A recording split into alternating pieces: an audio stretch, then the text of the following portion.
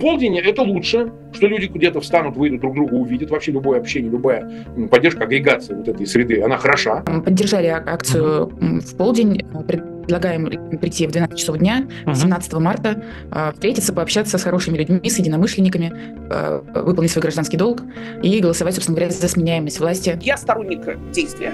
И мне кажется, что сидеть на диване – это неправильная история, что надо идти и э, надо э, портить бюллетень.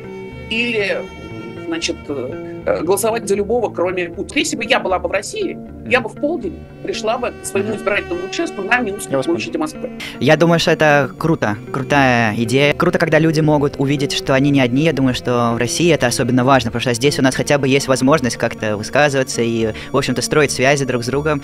И мне кажется, в России людям особенно этого не хватает, и им важно увидеть вообще, как их много, и как, э, в общем-то, ощутить связь с другими, с окружающими.